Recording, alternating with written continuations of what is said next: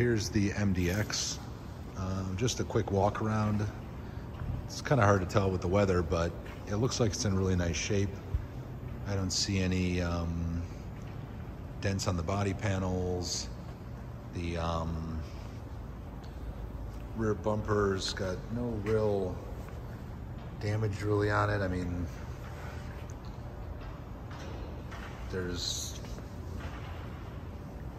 like I'm sure a couple little scratches underneath this dirt, I would think here and there, but they'll detail it before it comes down, even though it'll probably be crappy weather, but um, it's in pretty nice shape overall. The inside's in really nice shape. There's no damage anywhere. I mean, you're gonna have a few little flaws on it, I'm sure, because it's four years old, but uh, for a four-year-old car, it's actually pretty clean. So if you want, let me know what you think, and I can take a deposit on it anytime, and we can work on getting it down to you. Thanks much, and call me on this number anytime you want.